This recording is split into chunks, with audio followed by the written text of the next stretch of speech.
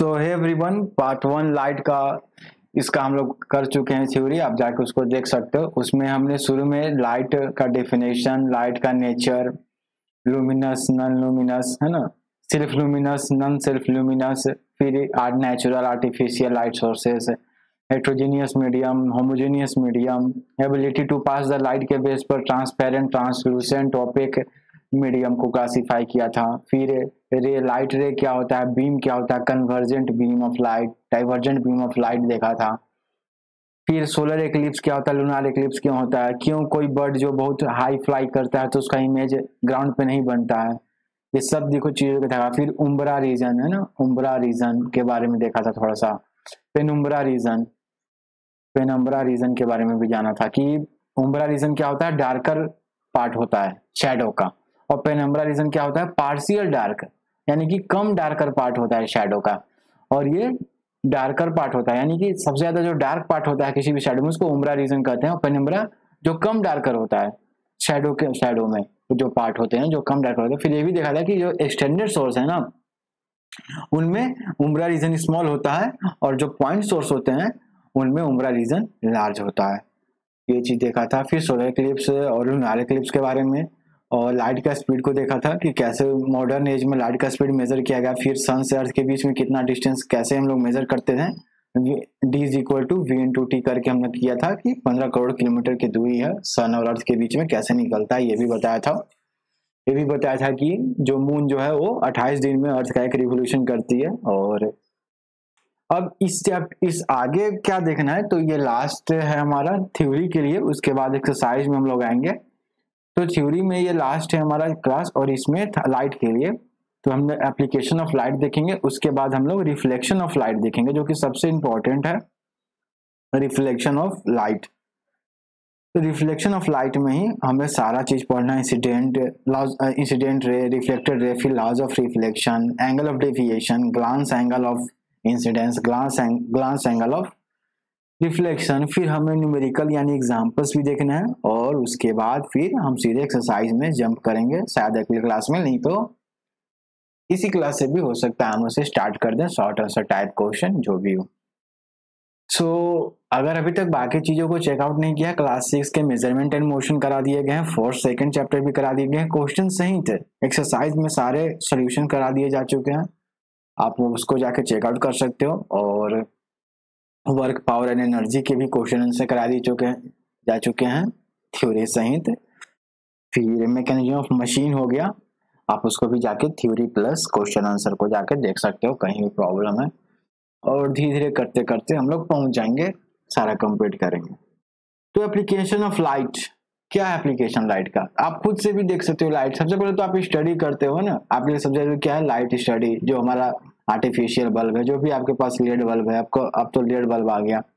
Street light है, फिर आपको कई तरह की आप जैसे देखो अब कुछ टेक्निकल चीज़ें हैं, जैसे वायरलेस माउस वैसे मेरे पास वायरलेस नहीं है, मेरे पास तो वायर वाला माउस है, लेकिन अब वायरलेस माउस काफ़ी लोकप्रिय हो रहा है। तो वहाँ पर भी लाइट का यूज़ है बारकोड रीडर जब कभी आप मॉल में जाते हो तो किसी भी सामान का कितना दाम है, वो बारकोड रीडर से ही देख के वहाँ पर कैलकुलेट हो जाता है। तो सोलर एनर्जी में सी डी डीबीडी जो होते हैं, उसमें भी लाइट का यूज़ है। मेडिकल डायग्नोसिस में जैसे इंडोस्कोप आप उसको देख सकते हो। और भी कई जगह, कई चीज़ों में आप लाइट का यूज़ देख सकते हो। जैसे, ऐसे जो सनलाइट होता है, उसमें तो विटामिन डी भी होता है तो आप यहाँ से भी देख सकते हो कि विटामिन डी का एक सोर्स है। जैसे स्कैनर प्रिंटर बाइनोक्यूलर्स जेरोक्स ये सब में आपको लाइट का एप्लीकेशन लेड बल्ब देखो पहले बता भी रहा था लेजर ट्रीटमेंट फिर एंडोस्कोप ये जो इंडोस्कोप लगा के देखते हैं जो अंदर के ऑर्गन्स में क्या है क्या नहीं ये इंडोस्कोप है जो भी। आप में से जो लोग बायो लेंगे वो इसको ज़रूर इस, इसके बारे में पढ़ना होगा उनको। डायग्नोसिंग इंटरनल ऑर्गेन्स को ही इंडोस्कोपी कहते हैं। तो ये तो कुछ एप्लीकेशन हो गया। अब जो मैं बताया था कि होमोजीनियस ओपेक मीडियम तो ओपेक तो हम जानते हैं कि जहाँ से लाइट एक एक मीडियम उस मीडियम से पास नहीं कर सकता, किसमें? ओपेक मीडियम से। लेकिन होमोजीनियस होना चाहिए। तो होमोजीनियस का मतलब कि एक ही तरह के पार्टिकल्स है उससे सब्सटेंस में। वो जो मीडियम है, एक ही तरह के पार्टिकल्स है। तो इसका एक एग्ज़ाम्पल वुड हो गया मेटल हो गया, है ना? ओपेक भी है और होमोजीनियस भी है। फिर हेट्रोजीनियस ट्रांसपेरेंट ट्रांसपेरेंट जिसमें लाइट पास कर जाए पूरी पूरी तरह। लेकिन हेट्रोजीनियस मीडियम कह रहा है तो एयर हो गया, है? एयर हो गया सी वाटर हो गया। क्योंकि हेट्रोजीनियस इसलिए है क्योंकि एयर में डस्ट भी है सीओ टू कार्बन मोनोऑक्साइड ये सभी तरह के गैसेस हैं तो ये होमोजीनियस नहीं है हेट्रोजीनियस है। क्यों? क्योंकि हेट्रोजीनियस में डिफरेंट टाइप्स ऑफ़ पार्टिकल्स होते हैं। तो इस तरह से मैंने इन दोनों को बता दिया। फिर आप वैसे ही होमोजीनियस ट्रांसपेरेंट मीडियम का एग्ज़ाम्पल पूछ रहा है, और फिर हेट्रोजीनियस ट्रांसल्यूसेंट मीडियम का। तो होमोजीनियस ट्रांसपेरेंट मीडियम में प्योर वाटर पेट्रोलियम वेपर्स आ जाएगा। प्योर वाटर होमोजीनियस तो है ही और साथ में ट्रांसपेरेंट भी है। फिर हेट्रोजीनियस में ट्रांसलूसेंट मीडियम पूछ रहा है। हेट्रोजीनियस में पार्सली इम्प्योर वाटर है ना? या फिर फॉग हो गया। जैसे जो पानी थोड़ा सा गंदा होता है, वो हेट्रोजीनियस हो गया क्योंकि उसमें मड भी हो गया, है ना? सैंड पार्टिकल्स भी होते हैं और लाइट उसमें बहुत कम पास होता है। पार्शियली पास करता है तो ट्रांसलूसेंट भी हो गया। तो इसलिए पार्शली इम्प्योर वाटर फिर आप कुछ और तरह के भी एग्ज़ाम्पल सोच सकते हो। हेट्रोजीनियस ट्रांसलूसेंट मीडियम ये कुछ कुछ एग्जाम्पल्स है जो प्रीवियस से क्लास के नॉलेज से हम लोगों ने पूरा किए फिर हाउ मेनी लूमेंस में कितना कैंडल पावर तो हमको पता है कि एक कैंडल पावर में 12.56 लूमेन होते हैं। तो 37.68 कैंडल पावर में 37.68 अपॉन 12.56 करेंगे तो बाई थ्री यानी कि 37.68 कैंडल पावर में थ्री लूमेन होंगे। वैसे कैंडल पावर किसका यूनिट था? लूमिनस लूमिनस का ना? लूमिनसिटी लूमिनसिटी का क्या था यूनिट था? कैंडल पावर और लक्स किसका लक्स किसका था? यूनिट इंटेंसिटी का. Intensity of light intensity of light यहाँ लाइट लिखना ज़रूरी है। इंटेंसिटी ऑफ़ लाइट और ये हो गया लुमिनिसिटी ऑफ़ लाइट ठीक है?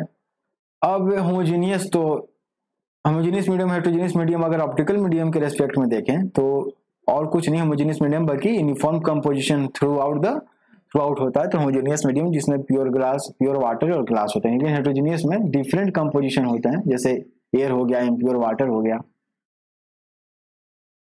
ये हमारा सबसे इंपॉर्टेंट टॉपिक है इस पूरे लेक्चर का। Reflection of light the bouncing तो रिफ्लेक्शन क्या है? द बाउंसिंग एक होता है रिफ्रैक्शन जो अभी नहीं पढ़ना है।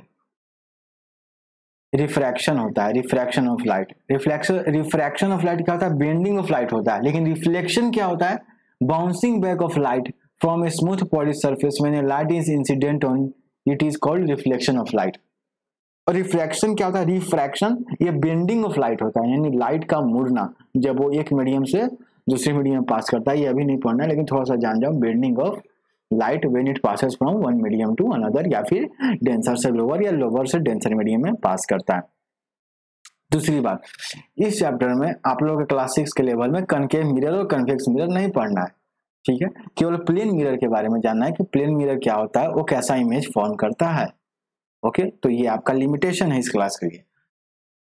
ठीक है स्टार्ट करते हैं तो मिरर तो मिरर क्या होता है? स्मूथ पॉलिश सरफेस वैसे आप बहुत बार सिल्वर उसको सिल्वर अच्छी से उसको स्मूथ किया जाता है उसको ग्लास के एक पार्ट को उसको सिल्वरी या फिर किसी और उसका एक परत चढ़ाया जाता है तो सिल्वर वो मिरर की तरह काम करता है। तो smooth poly surface which can turn back the light ray into the same medium is called mirror incident ray क्या होता है? Light ray which is incident on a mirror is called incident ray ray, आपको पता है ना कि light के जो डायरेक्शन ट्रेवल करती है, जो लाइट एनर्जी जो ट्रेवल करती है, उसको हम लाइट रे कहते हैं।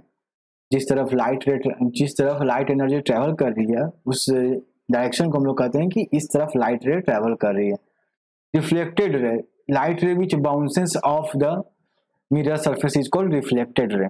Point of incidence तो पॉइंट ऑफ़ इंसिडेंस क्या हो सकता है? ऐसे ही बिना देखे बताओ कि जिस पॉइंट पे इंसिडेंट रे आके मिरर से टकराती हो, उसे क्या कहेंगे? पॉइंट ऑफ़ इंसिडेंस नॉर्मल क्या है? तो मिरर के परपेंडिकुलर जो लाइन होगा ना परपेंडिकुलर इसी को कहेंगे। क्या कहेंगे? ये नॉर्मल है।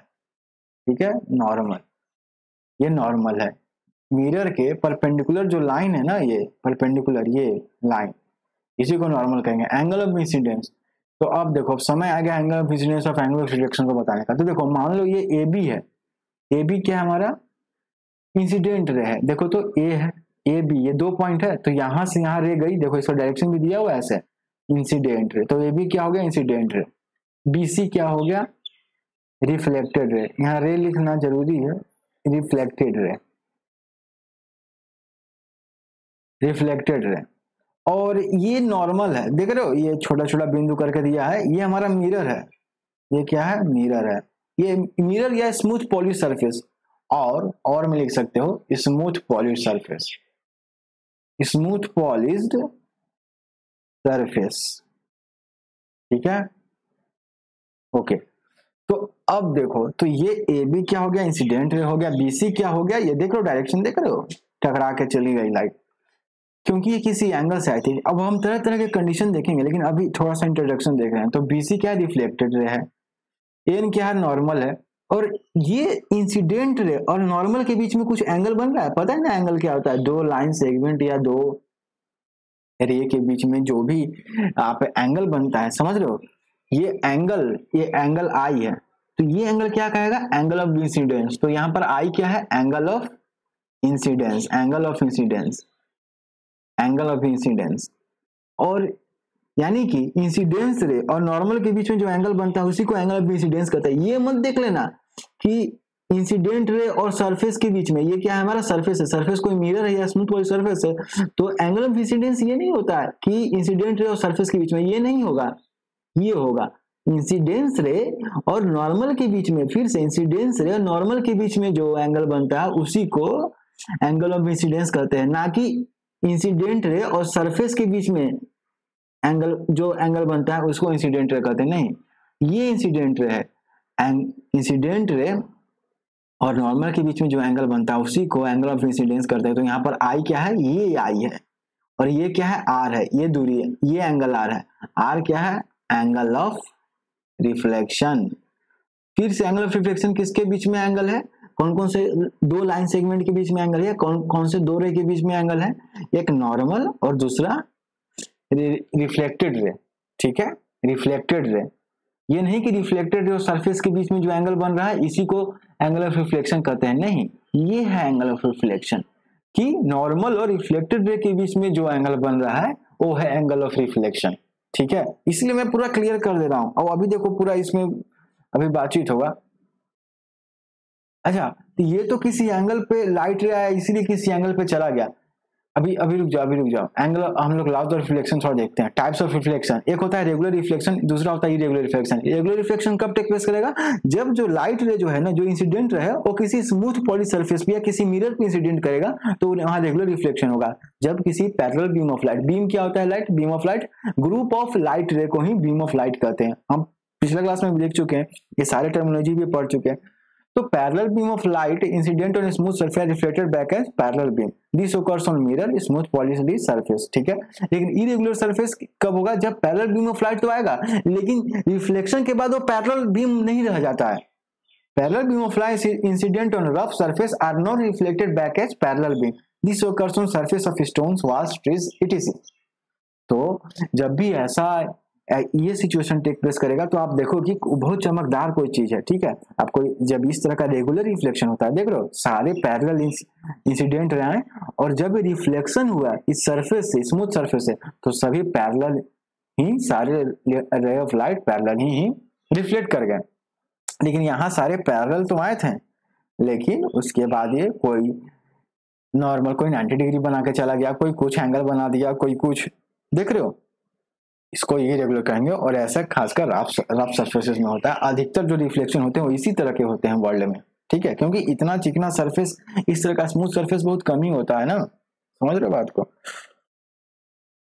तो लॉज ऑफ़ रिफ्लेक्शन अब लॉज ऑफ़ लॉज के कुछ नहीं है लॉज मतलब होता है कि जो सब जगह लागू पूरे वर्ल्ड में वो लागू है।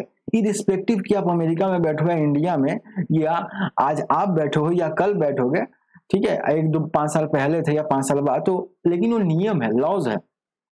वो ब्रेक जल्दी नहीं होता, वो यूनिवर्सल है एक तरह का। इसलिए उसको लॉज बोलते हैं कि एक कानून एक तो कानून की तरह लॉज ऑफ़ रिफ्लेक्शन देख रहे हो? भारी भरकम थोड़ा लगता है। लॉज ऑफ़ रिफ्लेक्शन फिर से रिफ्लेक्शन है रिफ्रैक्शन अलग चीज़ है, ठीक है? रिफ्रैक्शन आ गया कि हायर के क्लासेस में थोड़ा पढ़ना होगा रिफ्रैक्शन वहीं से स्नेल्स वगैरह पढ़ना होगा। यार, ये कभी छूटता ही नहीं है। और पढ़ते जाओ, और चीज़ें जुड़ती जाती हैं। तो laws of reflection there are two laws of reflection first law क्या है? कि the incident ray reflected ray normal lie in the same plane at the point of incidence तो ये कोई, मान लो स्मूथ पॉली सरफेस है मिरर है कहना तो ज़रूरी है ना? क्योंकि रफ सरफेस रहेगा तो फिर तो इरेगुलर रिफ्लेक्शन हो जाएगा, जो कि मुझे नहीं चाहिए। तो अभी जो सवाल बनेंगे वो सारे में रेगुलर रिफ्लेक्शन होगा। तो आप देख लो थोड़ा सा फिगर बनाने का कोशिश कर रहा हूँ। ये हमारा क्या हो गया? नॉर्मल हो गया। ये इंसिडेंट रे हो गया, ये एंगल ऑफ़ इंसिडेंस हो गया और ये एंगल ऑफ़ रिफ्लेक्शन हो गया। ठीक है? तो ये इंसिडेंस रे ये इंसिडेंट रे ये रिफ्लेक्टेड रे और ये नॉर्मल है। ये तीनों सेम प्लेन में लाई करता है। ऐसा नहीं प्लेन करने का क्या मतलब है? जैसे आप अभी टेबल पे पढ़ रहे हो तो आपका टेबल भी एक प्लेन है। तो इसी प्लेन पे इंसिडेंट रे भी है। मान के चलो कि ये जो तीन ये जो डायग्राम बनाया गया है आप ही के स्टडी टेबल पे बनाया गया है तो ये एक ही प्लेन पे है। ऐसा नहीं कि ये एक्स एक्सिस में है तो एक दूसरा वाई एक्सिस में चला गया तीसरा जेड एक्सिस में चला गया। समझ रहे हो? जैसे आप जब भी पढ़ते हो हम्म, कैसे बताऊँ एक प्लेन में? हम्म, जैसे आपका जो कॉपी है कॉपी तो टू है टू है, लेकिन ये सब वन में हो रहा है। ये जो इंसिडेंट रहे है नॉर्मल और रिफ्लेक्टेड रहे ये वन में है। ये एक ही प्लेन में है। ये टू में नहीं है। ठीक है? और पहला लोग यही कहता है, और सब सेम ये एंगल ऑफ़ इंसिडेंस में line the same plane at the point of angle of और यही पॉइंट तो एंगल ऑफ़ इंसिडेंस है। ठीक है? ना? At the point of incidence यही पॉइंट क्या है? पॉइंट ऑफ़ इंसिडेंस है। ये पॉइंट क्या है? पॉइंट जैसे मान लो ए बी है। और ये सी है। तो बी क्या है? पॉइंट ऑफ़ इंसिडेंस है। ठीक है? पहला लॉ ये कहता है, दूसरा law the angle of incidence is equal to angle of reflection let us understand this law better फिर दूसरा लॉ क्या कहता है कि एंगल आई जो है ना, ये आर के बराबर होता है। कब? जब आपको पता है कि स्मूथ सरफेस तो होना ही चाहिए। ठीक है? रेगुलर रिफ्लेक्शन के समय क्या होता है कि angle I is equal to angle R होता है। मान लो आई कितना है? एंगल आई मान लो 40 डिग्री आया था। 40 डिग्री पे आपने लाइट को भेजा। नॉर्मल से, है ना? और आई कहाँ से मेजर होगा? नॉर्मल से। तो एंगल आर भी है ना रिफ्लेक्शन वाला, वो भी 40 डिग्री होगा। बिना कैलकुलेट किया बता सकते हो। और बाकी ये जो नीचे दिया गया है, ये कुछ इस तरह का प्रूफ करने के लिए दिया गया है कि angle I equal to angle R होता है। ये वुडन ब्लॉक लिया है पॉइंट ऑफ़ इंसिडेंस लिया, फिर मिरर स्ट्रिप पेपर शीट और ये सब कुछ लिया है इसने। और ये शायद प्रूफ करने की कोशिश कर रहा है कि angle I equal to angle R होता है। ये देखो प्रोटेक्टर से इसने ड्रॉ किया। ठीक है तो आप घर पर भी कर सकते हो। इस तरह से जब आप एक छोटा सा लेजर या लाइट जो भी हो, छोटा सा एक बीम ऑफ़ लाइट भेजोगे और एक तरह का आप ड्रॉइंग बनाओगे, फिर बाद में प्रोटेक्टर से मेजर करोगे तो आपको पता चला कि ये कुछ इस तरह का बन रहा है। और यहाँ पर जितना एंगल इससे बन रहा है ना, उतना ही एंगल ये है। तो angle I equal to angle R देखो यहाँ लिखा हुआ है activity to demonstrate second law of reflection तो पहला लॉ ऑफ़ रिफ्लेक्शन क्या था? कि एंगल ऑफ़ जो इंसिडेंट है reflected ray normal all line the same plane at the point of incidence second law of reflection क्या है? कि angle of reflection angle of incidence is equal to angle of reflection और of course ये जो जितने ये जो law है वो मिरर या किसी स्मूथ पॉली सरफेस के लिए ही लागू होंगे. सो so, अब आगे बढ़ते हैं कुछ क्वेश्चन करते हैं। फिर, अब लेकिन सबसे पहले nature of image form by plane mirror तो image form by plane mirror plane mirror क्या, जो आप घर पे जो आईना रखे हो प्लेन मिरर ही है, ठीक है? वैसे आप मुझे बताना कि बाइक में जो आईना होता है ना, जो रियर ग्लास होता है, जिस पर लिखा होता है कि object in mirror are closer than they appear उसमें कौन से मिरर का यूज़ होता है? क्या वो भी प्लेन मिरर है, जो आपके बाइक है, जो आपके पिताजी का बाइक है, या जो भी रहता है ना, इस तरह का निकला हुआ, यहाँ पर इंजन है। तो इसमें कौन से तरह का मिरर का इस्तेमाल होता है? आप बता सकते हो कमेंट सेक्शन में लिखना। क्या इसमें भी प्लेन मिरर है? ऑफकोर्स प्लेन मिरर तो आंसर नहीं है। आप ज़रूर बताना। और अगर उस, अगर वो मिरर है भी, मान लो कोई मिरर है तो वो उसी मिरर का क्यों यूज़ हुआ? ये भी लिखना थोड़ा। वैसे मैं बताऊँगा बाद में। ठीक है तो nature of image form by a plane mirror तो the image form by a plane mirror has certain unique property as given in floor chart below nature of an image form by a plane mirror plane mirror में जब भी image form होता है और literally inverted होता है, आप देखोगे कि आपका जो दाहिना हाथ है ना, मान लो आपके दाहिने हाथ में बुक है और आप प्लेन मिरर के सामने खड़े हो खड़े हो तो जब आपका, आप देखोगे आईना में, जैसे आपके दाहिने हाथ में जैसे ये आपका दाहिना हाथ है, आपके दाहिने हाथ में बुक है, लेकिन जब इमेज फॉर्म होगा ना प्लेन मिरर में तो आपका दाहिना हाथ बाएँ हाथ की तरह दिखेगा और आपको लगेगा कि आपके बाएँ हाथ में बुक है, ठीक है? इसी को बोलते हैं लेटरली इन्वर्टेड यानी कि लेटरली इन्वर्टेड सॉरी स्पेलिंग थोड़ा गलती है लेटरली वैसे मेरा लाइटिंग दिख भी नहीं रहा होगा। लेटरली इन्वर्टेड ठीक है? तो लेटरली इन्वर्टेड में क्या होता है कि दाहिना बाया बन जाता है और बाया दाहिना बन जाता है। इमेज आपका फॉर्म होगा। यानी कि समझ में आ रहा है लेटरली इन्वर्टेड मतलब? यहाँ देखो लिखा हुआ है if we we see our self in mirror कौन सा मिरर प्लेन मिरर कनकेव या कन्वेक्स नहीं. If we see our self in mirror our left side looks like right side and vice versa यानी कि राइट साइड लेफ़्ट साइड की तरीके shown in figure below distance अच्छा जितना दूरी पे आप खड़े हो प्लेन मिरर से, उतना ही दूरी पे प्लेन मिरर से इमेज बनेगा। समझ में आ रहा है? जैसे ये प्लेन मिरर है और आप इसे एक मीटर पर खड़े हो तो आपका इमेज है ना, वो भी एक मीटर पे बनेगा। अंदर, यानी अंदर मतलब वर्चुअल इमेज बनेगा वर्चुअल ठीक है? वर्चुअल बनेगा इरेक्ट बनेगा। इरेक्ट मतलब क्या होता है? सीधा। ऐसा नहीं कि जब भी आप प्लेन में देखते हो तो आपका सर पैर की जगह और पैर सर की जगह। फिर तो दिक्कत हो जाता है ना। इरेक्ट का मतलब ये होता है सीधा। ठीक है? तो प्लेन मिरर में इरेक्ट इमेज बनता है वर्चुअल बनता है और सेम साइज़ रहता है। सेम साइज़ रहता है। ऐसा नहीं कि आप का जितना साइज़ है, उससे छोटा या उससे बड़ा इमेज इमेज बनेगा प्लेन मिरर में। ऐसा नहीं होगा। वर्चुअल रहता है इरेक्ट का रहता है सेम साइज़ रहता है और लेटरली इन्वर्टेड रहता है। लेटरली इन्वर्टेड मतलब बाया, दाया की ओर चल जाएगा और दाया, बाया की ओर आ जाएगा। ठीक है? यही चीज़ लिखा हुआ है। लेटरली इन्वर्टेड डिस्टेंस और इमेज इज़ वर्चुअल इमेज अच्छा वर्चुअल और रियल में क्या आता है एक होता है रियल इमेज और एक होता है वर्चुअल इमेज अब देखो बताता हूँ रियल क्या होता है कि एक ऐसा इमेज जिसे आप किसी पर्दे पर प्राप्त कर सकते हैं, ठीक है? जिसे किसी पर्दे पर आप प्राप्त कर सकते हैं। जैसे प्रोजेक्टर हो गया तो प्रोजेक्टर को आप जब भी किसी पर्दे पर दिखाते हो तो वहाँ इमेज फॉर्म होता है। लेकिन वर्चुअल को आप किसी पर्दे पर प्राप्त नहीं कर सकते। जैसे प्लेन मिरर में जब आप देखते हो ना तो आपको जो इमेज बनता है, वो किसी पर्दे पर आप प्राप्त नहीं कर सकते हो। यहाँ पर लिखा है image seen in the mirror can't be formed on a screen placed in the mirror यही मतलब होता है वर्चुअल का। कि वर्चुअल इमेज वो इमेज होता है कि it can't be formed on a screen placed in the place of mirror वो किसी स्क्रीन पर फॉर्म नहीं कर सकता है वो जो इमेज है। अगर मिरर की जगह कोई स्क्रीन ले लोगे तो वहाँ कोई इमेज फॉर्म नहीं होगा। वही होता है वर्चुअल इमेज यानी वर्चुअल मतलब आभासी, प्रतीत हो रहा है। और रियल मतलब हाँ ये है असली, इस तरह का रियल तो रियल जो होता है ना, वो स्क्रीन पर उसका इमेज फॉर्म हो सकता है। स्क्रीन पर इमेज फॉर्म हो सकती है, जैसे कनकेव मिरर के केस में रियल इमेज बनता है। एक एग्ज़ाम्पल बता रहा था। ठीक है? ओके वैसे आप ये भी याद कर सकते हो कि रियल इमेज कन्वर्जेंट के केस में है ना कन्वर्जेंट बीम के केस में आगे प्रॉब्लम भी है कन्वर्जेंट बीम के केस में रियल इमेज बनता है और डाइवर्जेंट बीम के केस में वर्चुअल इमेज बनता है। कन्वर्जेंट बीम क्या होता है? जब सारे जो रे है ना लाइट रे वो किसी एक पॉइंट पर मिलते हैं तो ऐसा हम क्या कहते हैं कि वो जो बीम ऑफ़ लाइट है, वो कन्वर्जेंट बीम ऑफ़ लाइट है। लेकिन डाइवर्जेंट बीम ऑफ़ लाइट क्या होता है कि जब एक ही पॉइंट से कई सारे लाइट ऑफ़ रे निकलते हैं, ठीक है अलग अलग डायरेक्शन में तो हम कहते हैं कि ये जो ग्रुप ऑफ़ लाइट रे है, यानी ये जो बीम ऑफ़ लाइट है, जो पैरल नहीं है ये जो बीम ऑफ़ लाइट है ना इसी को बोलते हैं डाइवर्जेंट बीम ऑफ़ लाइट जिस हमने बताया भी था पिछले क्लास में तो डाइवर्जेंट बीम ऑफ़ लाइट के केस में वर्चुअल इमेज और कन्वर्जेंट बीम ऑफ़ लाइट के केस में रियल इमेज बनते हैं। ठीक है? तो ये हो गया nature of image form by a plane mirror याद रहेगा लेटरली इन्वर्टेड होता है सेम डिस्टेंस पर बनता है। Distance of an object from the mirror is equal to the distance of the image from the mirror ठीक है? बताया? फिर दूसरा इमेज वर्चुअल और इरेक्ट होता है।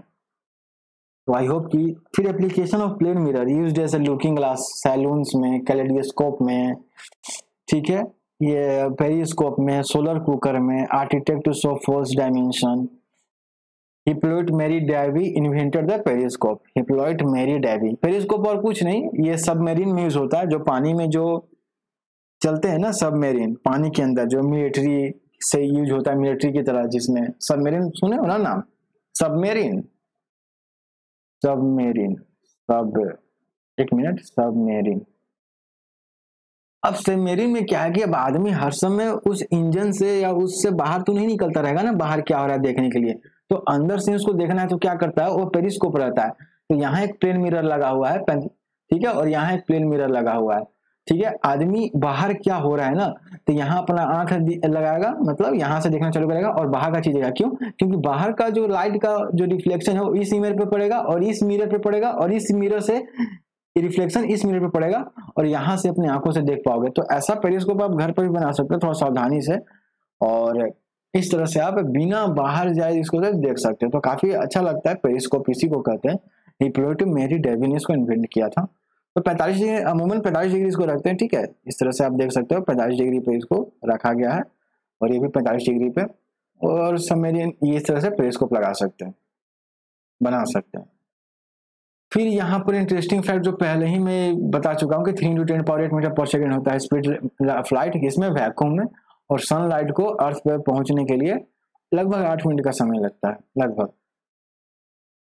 अब एक प्रॉब्लम करेंगे, एक, दो, तीन चार चार प्रॉब्लम करेंगे। उसके बाद फिर हम कितना मिनट हो गया? पच्चीस मिनट हो गया। तो चार प्रॉब्लम करेंगे, उसके बाद हम लोग दूसरे क्लास में एक्सरसाइज शुरू करेंगे। और एक्सरसाइज में सबसे पहला क्या पढ़ना है क्या बनाना है क्वेश्चन में? Very short answer type question फिर शॉर्ट आंसर टाइप क्वेश्चन और उसके बाद क्या है? कॉन्सेप्ट एप्लीकेशन में पाँच क्वेश्चन है। उनको बनाएँगे। फिर हमारा चैप्टर खत्म। तो समझ में आया? Plane mirror laws of reflection अभी तो उस पर क्वेश्चन बनाएँगे तो क्लियर हो जाएगा। ठीक है? अब देखो। ये क्वेश्चन है और थोड़ा सा अच्छा क्वेश्चन है। वेन टू मिरर एक मिरर एम वन है, एक मिरर एम टू है। ठीक है? Are incline at an angle sixty incline at angle देखो तो सिक्सटी डिग्री पे इंक्लाइन है। ये दोनों मिरर के बीच में कितना एंगल बन रहा है? सिक्सटी डिग्री यहाँ सिक्सटी डिग्री है। ठीक है? अच्छा एक चीज़ और पता है? कि ट्राइंगल में तीनों एंगल का सम कितना होता है? मान लो एंगल वन है एंगल टू है एंगल थ्री है। तो angle one plus angle two plus angle three कितना होता है ट्राइंगल में? एक सौ अस्सी डिग्री होता है, पता है? एक सौ अस्सी डिग्री होता है। क्लास सिक्स में नहीं पढ़ना है सर या पढ़ना जो भी हो। किसी भी ट्राइंगल में तीनों एंगल का सम हमेशा एक सौ अस्सी डिग्री होगा। सम सम बोल रहा हूँ। सम हमेशा एक सौ अस्सी डिग्री होगा। तो उसका यूज़ करेंगे यहाँ। तो when two mirrors are inclined at an angle 60 degree with each other, find the glancing angles. And the angle of deviation. अच्छा ग्लैंसिंग एंगल ऑफ़ इंसिडेंस यहाँ, ठीक है? Glancing angle of इंसिडेंस पूछ रहा है। यहाँ पर पूरा क्लियर नहीं किया? केवल ग्लांसिंग एंगल लिख दिया? लेकिन ग्लांसिंग एंगल ऑफ़ इंसिडेंस पूछ रहे हो या ग्लांसिंग एंगल ऑफ़ रिफ्लेक्शन पूछ रहे हो? ये तो बताया नहीं। लेकिन हम ये मान के चल रहे हैं कि ग्लांसिंग एंगल ऑफ़ इंसिडेंस पूछ रहा है। ठीक है? वैसे यहाँ पर 45 डिग्री पे, देखो, यहाँ पर ये I is equal to one fifty degree लिख दिया है। आई इक्वल टू कितना रहा है? 150 डिग्री। क्या है सही है? क्या लगता है तुम्हें? 150 डिग्री आई लिखना। सही है क्या? हम्म, नहीं। 150 डिग्री कहीं से भी नहीं होगा। अच्छा क्वेश्चन आगे पढ़ते हैं। बीच each other find glancing angle and angle of deviation क्या पूछ रहा है? ग्लांसिंग एंगल ऑफ़ इंसिडेंस पूछ रहा है और एंगल ऑफ़ डेविएशन दो चीज़ पूछ रहा है। एट बोथ द मिरर दोनों मिरर पे। यानी चार आंसर होंगे ना? At both the mirrors if the angle of incidence of a light ray is 45 degree ठीक है? एंगल ऑफ़ इंसिडेंस अब गाइस देखो, ये I is equal to forty five degree होगा, समझ में आ रहा है? क्योंकि एंगल ऑफ़ इंसिडेंस क्या होता है? कि इंसिडेंट रे और नॉर्मल के बीच में। तो एम वन मिरर के लिए ये एन वन हो गया, ये नॉर्मल हो गया एन वन और एम टू मिरर के लिए कौन नॉर्मल हो गया? ये ये, देख रहे हो? ये एन टू नॉर्मल यानी कि ये नॉर्मल हो गया। नॉर्मल क्या होता है? तो सरफेस के परपेंडिकुलर जो लाइन ड्रॉ करते हैं ना परपेंडिकुलर क्या होता है? नब्बे डिग्री बनाते हैं। जैसे ये सरफेस है, इसके परपेंडिकुलर परपेंडिकुलर इसको कहते हैं, नब्बे डिग्री बनाते हैं, उसको नॉर्मल कहते हैं। ठीक है? तो ये एंगल ऑफ़ इंसिडेंस 45 डिग्री दिया हुआ है। देखो, मैं कहीं से अपने से नहीं लिखा हूँ कि फ़र्स्ट मिरर पे एंगल ऑफ़ इंसिडेंस कितना है? 45 डिग्री है। तो आपको पता है लॉज ऑफ़ रिफ्लेक्शन से कि अगर स्मूथ सरफेस पे अगर कोई लाइट इंसिडेंट करती है तो जितना एंगल ऑफ़ इंसिडेंस होता है, उतना ही एंगल ऑफ़ रिफ्लेक्शन भी होता है। और एंगल ऑफ़ रिफ्लेक्शन क्या होता है? तो रिफ्लेक्टेड रे ये रिफ्लेक्टेड रे है ना? किसके लिए? मिरर वन के लिए रिफ्लेक्टेड है लाइट रे यहाँ से आई और ये रिफ्लेक्ट कर गई। तो एंगल ऑफ़ रिफ्लेक्शन क्या होता है? रिफ्लेक्टेड रे और नॉर्मल के बीच में जो एंगल होता है, उसी को रिफ्लेक्टेड रे कहते हैं। तो एंगल ऑफ़ अगर एंगल ऑफ़ इंसिडेंस किसके लिए? मिरर वन के लिए कितना है? फोर्टी फाइव डिग्री है। तो एंगल ऑफ़ रिफ्लेक्शन भी कितना होगा? फोर्टी फाइव डिग्री क्यों होगा? ब्रैकेट में लिखना कि लॉ ऑफ़ रिफ्लेक्शन क्या लिखना? लॉ ऑफ़ रिफ्लेक्शन क्यों? क्योंकि सेकंड लॉ ऑफ़ रिफ्लेक्शन क्या होता है कि angle of incidence is equal to angle of reflection होता है। जब सरफेस स्मूथ हो स्मूथ पॉलिश हो, ठीक है? तो ये 45 हो गया। तो गाइज़ ये 45 हो गया। ध्यान देना, ये 45 हो गया। और ये पूरा 90 है। थोड़ा सा कचरा हो गया ना। एक मिनट में कोशिश करता हूँ इसको अच्छा करने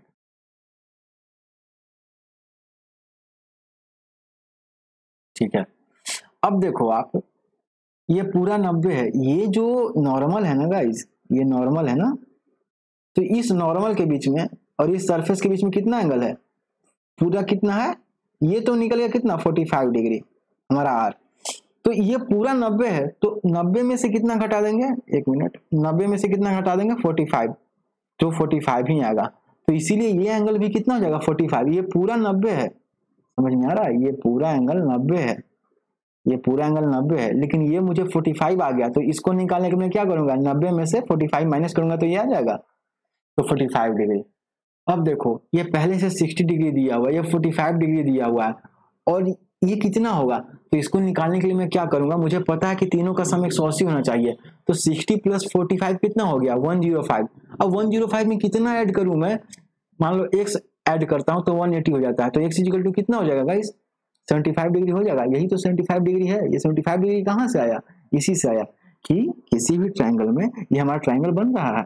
मान लो ये पॉइंट है। ये पॉइंट क्या है? ए है। ये पॉइंट बी है। और ये पॉइंट क्या है? सी है। तो ए बी सी क्या है? Triangle A B C triangle A plus angle B जो भी हो एक सौ अस्सी डिग्री देगा तो साठ प्लस पैंतालीस प्लस कितना करें कि एक सौ अस्सी हो जाए? तो इसलिए पचहत्तर हो जा रहा है। समझ में आ रहा है? पचहत्तर क्यों आया? बस इतना याद रखना अभी। अब देखो अब इस पर भी एक नॉर्मल ड्रॉ करेंगे मिरर टू पे भी एक नॉर्मल ड्रॉ करेंगे। आ, मुझे पता है अभी मैं ग्लैंसिंग एंगल नहीं निकाला हूँ। अभी मैं बस निकाल रहा हूँ कि कितना रिफ्लेक्टेड रे का कितना एंगल है और कितना क्या है। उसके बाद मैं आराम से ग्लांसिंग एंगल ऑफ़ एंगल और एंगल ऑफ़ डेविएशन भी निकालूँगा। और एंगल ऑफ़ डेविएशन क्या होता है, इसको भी बताऊँगा। थोड़ा सा सब्र रखो। तो ये नॉर्मल है। और ये हमारा क्या है? सरफेस है। ठीक है? अब अब थोड़ा सा मैं इसको क्या करता हूँ? थोड़ा सा मैं भिज ना हो जाए, इसलिए थोड़ा सा। अब देखो, ये नॉर्मल नब्बे डिग्री बनाती है। अब ये तो खुद पचहत्तर हो गया। इधर भी तो नब्बे होगा ना। लेकिन ये खुद पचहत्तर है तो बाकी नब्बे में से पचहत्तर अगर सब्सट्रैक्ट कर दें तो कितना आएगा? पंद्रह आएगा, पंद्रह डिग्री। तो इसीलिए पंद्रह डिग्री हो जाएगा। देख रहे हो ये पंद्रह डिग्री। अब ये जो है, ये रिफ्लेक्टेड रे किसके लिए? मिरर वन के लिए। लेकिन मिरर टू के लिए क्या है? ये इंसिडेंट रे है। फिर से, ये जो रे आ रही है ना, ये ये रिफ्लेक्टेड रे है किसके लिए? मिरर वन के लिए। लेकिन ये रे क्या है? मिरर टू के लिए क्या है? इंसिडेंट रे है। और इंसिडेंट रे और नॉर्मल के बीच में जो एंगल होता है, उसी को तो एंगल ऑफ़ इंसिडेंस कहते हैं। तो एंगल ऑफ़ इंसिडेंस किसके लिए? मिरर टू के लिए कितना है? पंद्रह डिग्री है। और आपको पता है कि स्मूथ पॉली सरफेस ये मिरर है तो लॉज ऑफ़ रिफ्लेक्शन के कारण angle of angle of reflection किसके लिए? मिरर टू के लिए कितना हो जाएगा? वो भी पंद्रह डिग्री हो जाएगा, क्योंकि angle i equal to angle r होता है laws of laws of reflection से। ठीक है? अब आते हैं क्वेश्चन पे ग्लैंसिंग एंगल तो ग्लैंसिंग एंगल क्या होता है ग्लैंसिंग एंगल ध्यान दो। गाइस देखो, अगर ये एंगल ऑफ़ इंसिडेंस है और ये एंगल ऑफ़ रिफ्लेक्शन है और ये स्मूथ सरफेस है, ठीक है? स्मूथ पॉली सरफेस है और ये नॉर्मल है तो ये तो मुझे पता कि ये एंगल ऑफ़ इंसिडेंस होता है और ये क्या होता है? एंगल ऑफ़ रिफ्लेक्शन होता है। लेकिन अगर मुझे पूछे कि ग्लैंसिंग एंगल ऑफ़ इंसिडेंस क्या होता है तो ये जो, ये ये एंगल जो होता है ना, यही ग्लैंसिंग एंगल ऑफ़ इंसिडेंस होता है। जी आई लिख देता हूँ। और ये क्या है? ग्लैंसिंग एंगल ऑफ़ रिफ्लेक्शन है। यानी कि ग्लैंसिंग एंगल ऑफ़ इंसिडेंस क्या है? तो इंसिडेंट रे और सरफेस के बीच में, ये सरफेस है। इंसिडेंट और सरफेस के बीच में जो एंगल बनता है, उसी को ग्लैंसिंग एंगल ऑफ़ इंसिडेंस कहते हैं। फिर से ग्लैंसिंग एंगल ऑफ़ इंसिडेंस किसे कहते हैं? इंसिडेंट और सरफेस के बीच में जो एंगल होता है, उसी को ग्लैंसिंग एंगल ऑफ़ इंसिडेंस कहते हैं। ग्लैंसिंग एंगल ऑफ़ रिफ्लेक्शन क्या होता है? तो रिफ्लेक्टेड रे रिफ्लेक्टेड रे और सरफेस के बीच में जो एंगल बनता है, उसी को क्या कहते हैं? ग्लैंसिंग एंगल ऑफ़ रिफ्लेक्शन कहते हैं, जिसे मैंने यहाँ जी आर से लिखा है। ठीक है? तो ग्लैंसिंग एंगल ऑफ़ इंसिडेंस अगर मुझे निकालना है, किसके केस में? मिरर वन के केस में गाइस तो एक एंगल आई तो कितना है? पैंतालीस डिग्री है।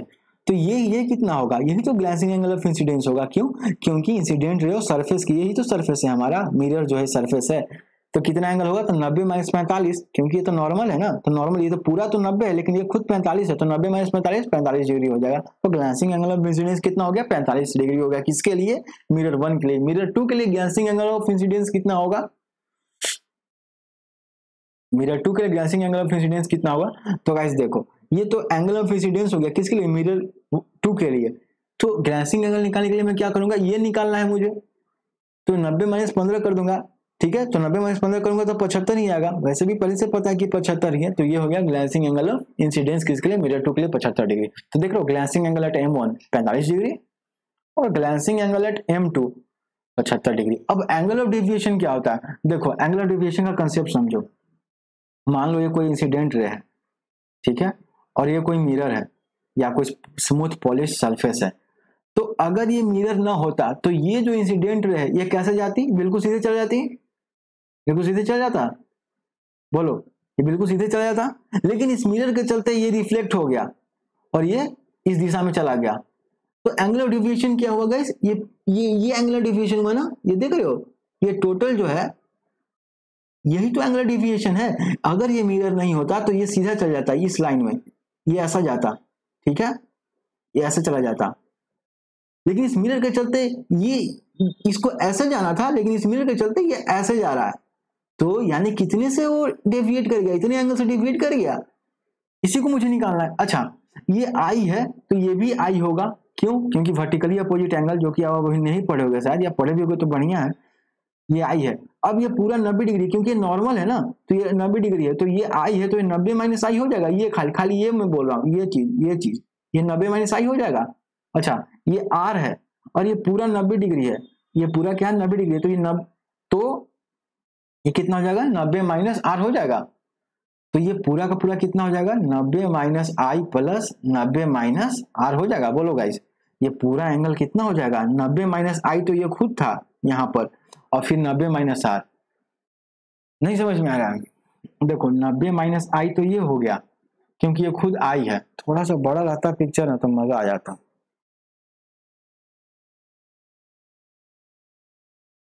देखो ये आई है एंगल ऑफ़ इंसिडेंस तो ये भी आई है। लेकिन ये पूरा नब्बे डिग्री है तो ये कितना बचेगा? नब्बे माइनस आई, ठीक है? और ये कितना बचे, ये आर है तो ये कितना बचेगा? नब्बे माइनस आर। तो मुझे पूरा एंगल चाहिए था, ये पूरा एंगल, ठीक है? क्यों? क्योंकि इतना ही एंगल से डिफिएट किया है तो कितना हो जाएगा? नब्बे प्लस नब्बे वन एटी और माइनस आई प्लस आर। लेकिन angle of, laws of reflection से क्या है? I is equal to R होता है पता है ना?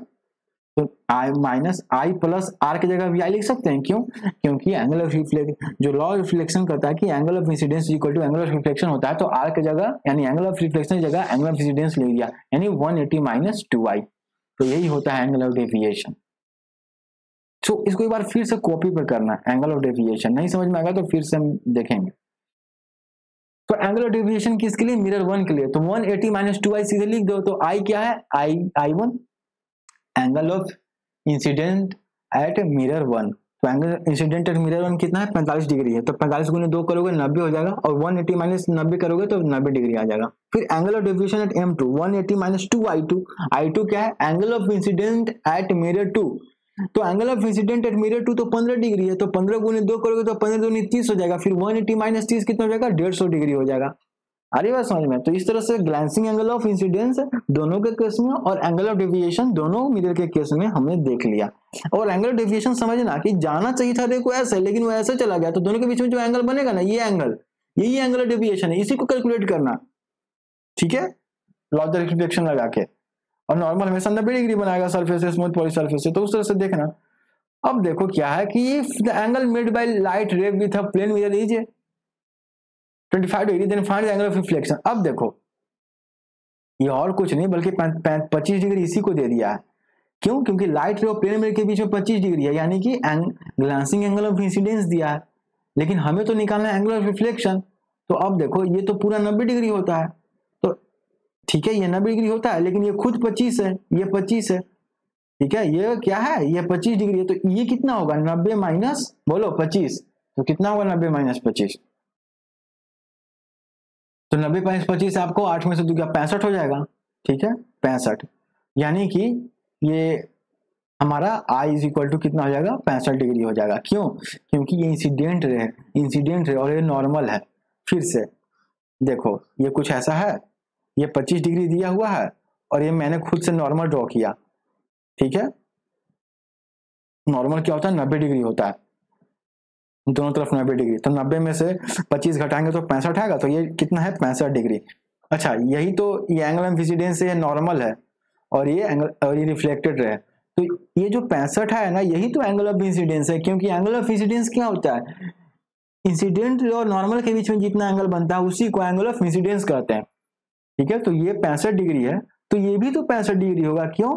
क्योंकि angle of incidence is equal to angle of reflection होता है। ये सेकंड लॉ ऑफ़ रिफ्लेक्शन से पढ़े हो ना?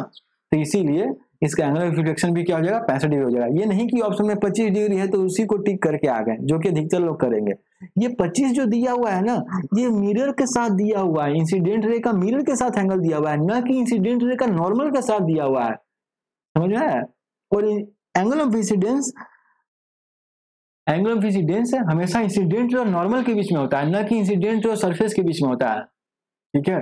तो इसीलिए आई इज़ इक्वल टू नब्बे माइनस पच्चीस क्या पैंसठ आ गया और एंगल आर भी पैंसठ ही होगा क्यों? क्योंकि angle I is equal to angle R होता है सेकंड लॉ रिफ्लेक्शन से, जब सरफेस क्या हो? स्मूथली पॉलिश हो। ठीक है, ये सेकंड क्वेश्चन थर्ड क्वेश्चन क्या है? रिफ्लेक्शन को अगर तुम आईना में तुम उसको देखोगे तो कैसा दिखेगा? तो जो लेफ़्ट है वो राइट हो जाएगा। ठीक है?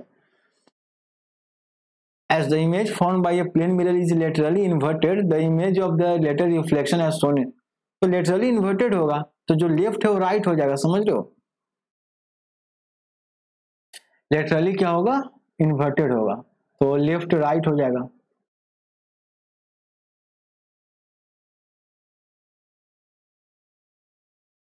ठीक है, जैसे ओ है तो ओ को ऊपर नीचे कैसे भी करो ओ ही रहेगा। देख रहे हो? आई में भी कोई चेंजिंग नहीं है। टी में चेंजिंग है सी में भी कोई चेंजिंग नहीं है। ई e में भी कोई चेंजिंग ई e में चेंजिंग है। नहीं ई में भी कोई चेंजिंग नहीं है। तो आप ऐसे लेटर के लिस्ट बना सकते हो जिसको कि अगर प्लेन मिरर से भी देखेंगे उसका इमेज सेम का सेम रहता है तो ऐसे इमेज बना सकते हो। लेकिन आर देखो आर लेटरली इन्वर्टेड चला गया। ठीक है? एफ़ को देखो एल को देखो। ऐसा इसलिए भी है ना कि देखो आ, जो नज़दीक होता है जो मिरर के नज़दीक होता है जो भी ऑब्जेक्ट प्लेन मिरर के नज़दीक होता है, उसका प्लेन मिरर से उतना ही नज़दीक इमेज भी बनता है। तो जो ये जो एल है एल का जो नीचे का पार्ट है, ये तो सबसे पहले आता है ना तो इसलिए इसका इमेज सबसे पहले बनेगा और ये जो ऊपर का जो पार्ट है, इसका बाद में बनेगा। देख रहे हो? बताया था ना कि जितना डिस्टेंस पे ऑब्जेक्ट है प्लेन मिरर से, उतना ही डिस्टेंस पे उसका इमेज भी बनेगा। एक वर्चुअल इमेज बनेगा, ठीक है? वर्चुअल और इरेक्ट इमेज बनेगा। तो इस तरह से फिर find the value of X तो ये 30 डिग्री है तो एंगल ऑफ़ इंसिडेंस तो यही है, क्योंकि ये ठीक है। क्यों? क्योंकि इंसिडेंट रे और नॉर्मल के बीच में इंसिडेंट रे और नॉर्मल के बीच में क्या होता है? जो एंगल बनता है, उसी को एंगल ऑफ़ इंसिडेंस कहते हैं। ठीक है? तो ये तीस तो ये भी तीस। लेकिन ये पूरा क्या है गाइस तीस डिग्री प्लस एक्स तो नब्बे है। क्यों? क्योंकि इस तरफ़ तो पूरा नब्बे है ना? ये पूरा क्या है? नब्बे है। तो तीस डिग्री प्लस एक्स नब्बे है तो एक्स इक्वल टू साठ डिग्री हो जाएगा। अच्छा एक केस में, मान लो जो नॉर्मल है, वही इंसिडेंट हो रहे हो गया मान लो। ठीक है? इंसिडेंट रे बिल्कुल नब्बे डिग्री पे आ रहा है। तो रिफ्लेक्टेड रे कैसा होगा? तो भाई, वो भी तो जस्ट रिफ्लेक्टेड रे भी यही होगा। क्यों? क्योंकि इसका जो एंगल ऑफ़ इंसिडेंस क्या है? ज़ीरो डिग्री है। क्यों? क्योंकि जो नॉर्मल है, वही अगर इंसिडेंट रे बन जाए तो एंगल ऑफ़ इंसिडेंस क्या हो गया? ज़ीरो इसका मतलब एंगल ऑफ़ रिफ्लेक्शन भी क्या हो जाएगा? ज़ीरो क्योंकि angle of incidence equal to angle of reflection होता है। तो ये स्पेशल केस है। ठीक है? स्पेशल केस में आप लिख सकते हो कि स्पेशल केस यानी कि अगर जो एंगल ऑफ़ इंसिडेंस है, वही नॉर्मल बन जाए, क्योंकि अभी तक तो हम यही देख रहे हैं कि किसी एंगल पे लाइट रे लाइट रे क्या हो रहा है? इंसिडेंट हो रहा है। लेकिन मान लो जो लाइट रे है वो बिल्कुल नब्बे डिग्री पे आ जाए तो अब क्या होगा? तो नब्बे डिग्री पे आ जाएगा तो इसका मतलब एंगल आई कितना होगा? ज़ीरो डिग्री क्यों? नब्बे नहीं होगा ज़ीरो डिग्री होगा। क्यों? क्योंकि जहाँ नॉर्मल है नॉर्मल के साथ तो ज़ीरो डिग्री बना रहा है ना, क्योंकि यही नॉर्मल यही इंसिडेंट रे भी है जितना ज़ीरो डिग्री है इंसिडेंट एंगल ऑफ़ इंसिडेंट तो ज़ीरो डिग्री है एंगल ऑफ़ रिफ्लेक्शन भी होगा। तो ये राइट जैसे ऐसे आई थी, और ये स्मूथ पॉली सरफेस है, या मिरर सरफेस है, जो भी है स्मूथ पॉली सरफेस है, जिधर से ये आई थी, उधर से टकरा कर चल जाएगी। तो बाद में एक्सरसाइज को ट्राई करो, फिर हम लोग एक्सरसाइज को देखेंगे। तो thank you so much for watching जो भी डाउट है कमेंट सेक्शन में लिख सकते हो। और चैनल अच्छा लगा तो बाकी वीडियोस भी चेकआउट करो। चैनल अच्छा लगा तो लाइक शेयर सब्सक्राइब करो। Thank you